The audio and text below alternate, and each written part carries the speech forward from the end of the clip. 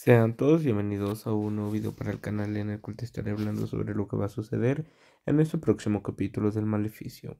Capítulo en el que miraremos el cómo Gerardo al parecer estará dispuesto a hacer todo lo posible con tal de que el poder caiga en sus manos, que una vez Enrique entregando su poder, éste pueda ah, manipular, por así decir, a dicha persona para que dicho poder sea para él.